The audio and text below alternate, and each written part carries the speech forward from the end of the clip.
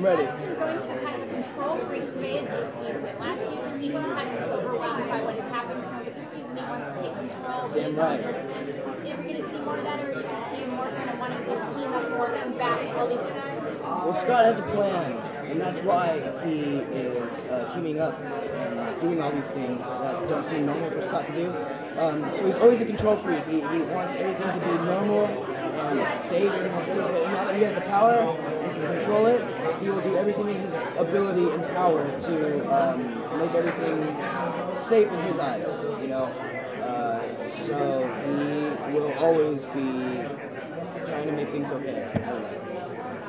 Given that the show's just been renewed for another season, what's your biggest fear going into an even bigger season with a bigger episode order and the popularity of the show? Uh, I think it's fear. There's no fear.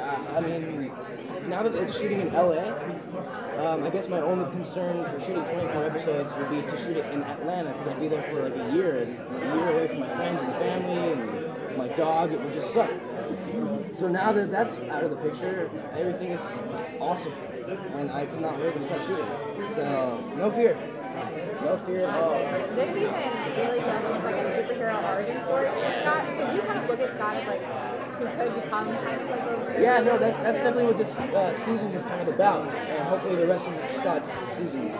Um, he, like I said, he has the he has power, he can control now. He wants to use it for good. Um, so it's definitely hero, superhero aspect. Um, and uh, he just really likes to help people, and that's basically what a superhero is, right? Making people feel good, and they're really powerful. So maybe I'm a superhero. You gotta make you a costume now. That's about it.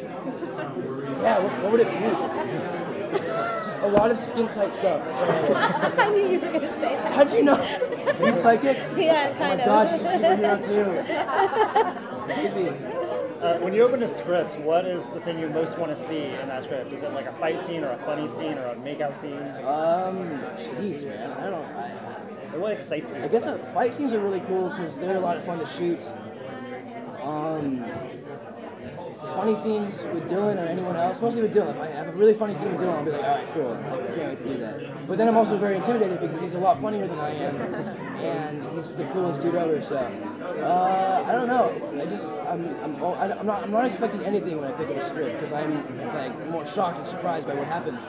Um, I actually get really emotional sometimes. Like during the last two scripts I was reading, I was like, Jesus, man, this is, this is so good. And maybe it was because it was coming to an end. I don't know, but um, yeah, there- I just like to go at it with no expectations. I guess. I'm probably going to ask this to all the cast members, but in our last season, we, the last episode, we saw the reference to the Breakfast Club.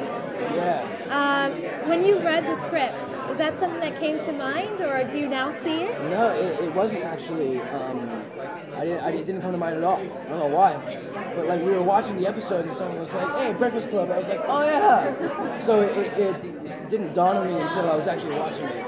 So uh, and I love that movie. I have the poster in my my my, um, my room. So I uh, big fan of that movie. So it's really cool. I wonder who I am. I was, I want to be the Bender. next question. Who would you bet? I want to be Bender. Bender? Yeah. Put that out. Because he's awesome and the stoner. That's a meaning. In the episode that aired yesterday that they showed, it seemed like Allison is pretty much dead set on not having a relationship with Scott anymore, and he doesn't really know about. So what's coming up for them the rest of the season? Sorry, Allison's what? It seems like Allison, when she said goodbye and they said they're going to date other people, it seemed like she meant it like for good without him knowing. So what's coming up for them now that everything happened in the most recent Um, episode? well, it's hard and it's a very mature decision because um, they love each other and they can't be with each other. So I think it's a very mature and adult decision to make, a hard one. Um, so they're always going to be in love they're, they're going to be uh, like right next to each other all the time because of their situations. Um, so they'll have to either overcome their feelings for each other and realize what's more important at this moment, or uh, just start making out, which, which is cool both ways. So Would you like to see another girl introduced into Scott's? yes, just joking. Uh, yeah, sure, why not? The more the merrier, right? Um, that would be cool.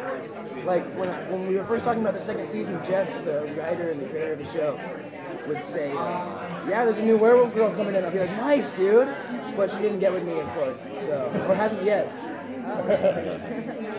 Just you know, don't throw any spoilers out there. Just trying to confuse you guys. Um, some of your best scenes are with like the authority figure characters like JR Bourne and, and especially Mrs. Argent, who I love, Gaze. Uh, do, are you like actually as intimidated by them in real life as you are? I know. I don't know. Um, Eaddy, who plays Miss Argent, is sweetest and cutest person I could ever ever explain. I can't even. I, have, I don't know. How to, I, I, I have no idea how to explain how awesome she is. Um, but she is a little intimidating, you know. It's the stare, her eyes. Jr. is not intimidating at all. He- He's lost all that intimidation for me.